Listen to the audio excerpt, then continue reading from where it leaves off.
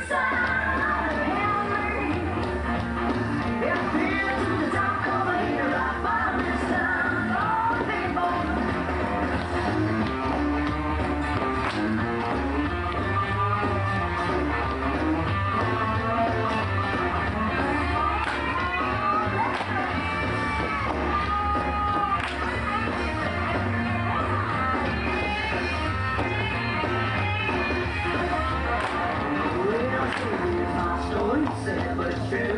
so many things that I never knew.